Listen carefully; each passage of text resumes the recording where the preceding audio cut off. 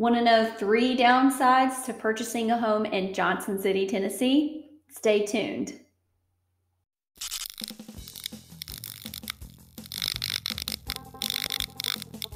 Hi, I'm Tiffany Watts, a local realtor here in the Johnson City area. If you're thinking about relocating here, then feel free to reach out. All right, let's get started.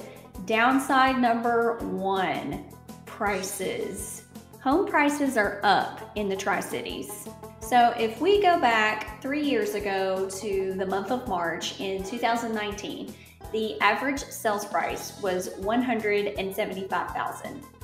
And then in the year 2020, the average was 186,000. And then this time last year in 2021, the average sales price was $229,000. Now, this year, March 2022, the average sales price was $265,000. That's an increase of 51% over a three year span. Here is another example. This is what $330,000 could get you in 2019. It's a four bed, four bath, 2,697 finished square feet. It was built in 2007. It has stainless steel appliances, a beautifully updated kitchen. It sold for $122 per square foot, and the buyers also got almost $7,000 in concessions, which, you know, like closing cost assistance. And now we've got this property, which is currently under contract.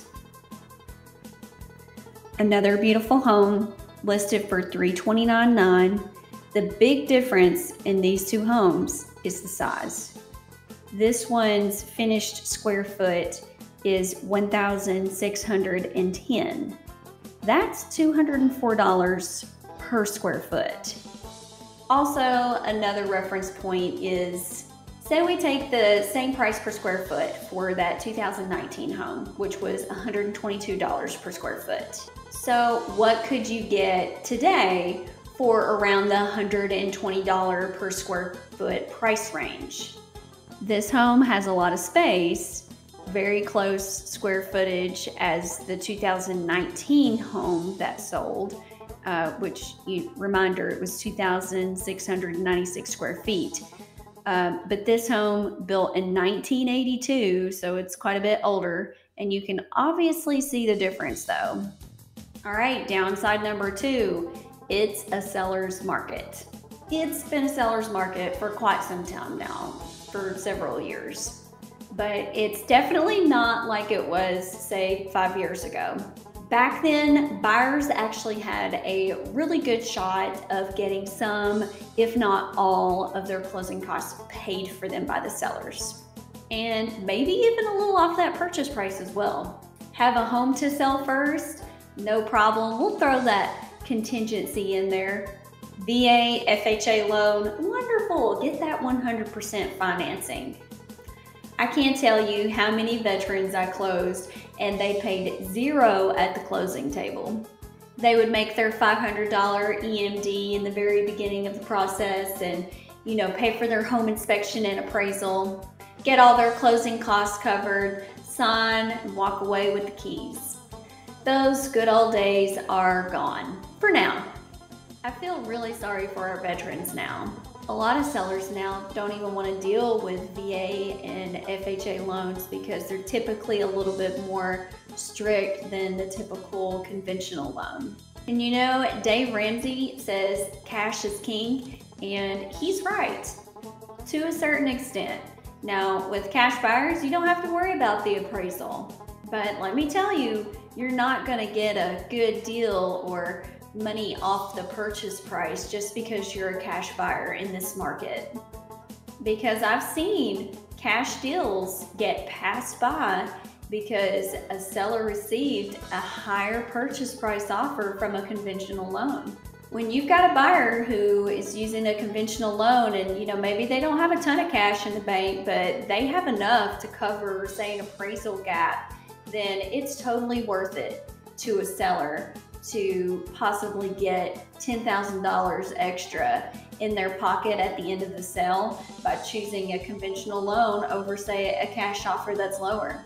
And now we've got multiple offers left and right, properties selling for ten to sixty thousand dollars more than asking price.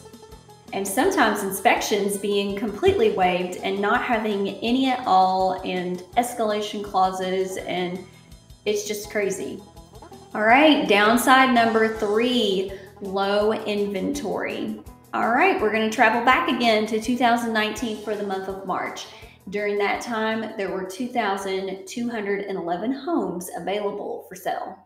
A year later, in 2020, there were 1,641 homes available for sale.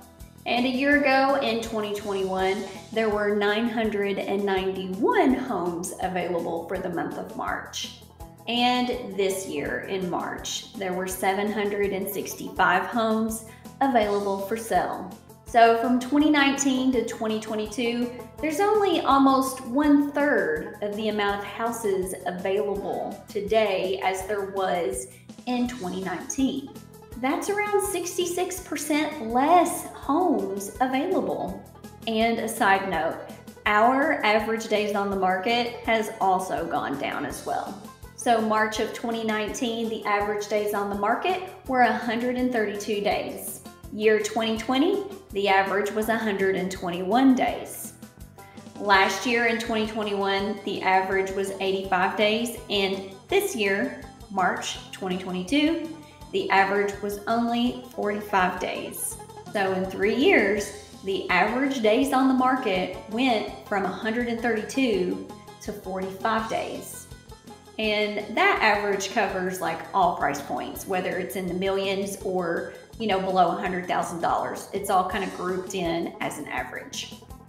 And although right now our average days on the market is 45 days, honestly, the cute homes that are priced, you know, two to $400,000 or more, like it's not going to sit on the market for 45 days, not even probably 45 hours.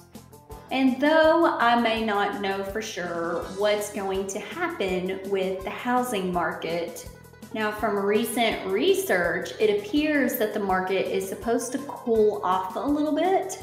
And by cool off a bit, I just mean that prices are expected to continue to rise, but only by a small percentage, not these crazy percentages that we've seen over the past few years. Hopefully, the future holds less multiple offers and more options for buyers. Well, that's going to do it for today. Thanks for watching.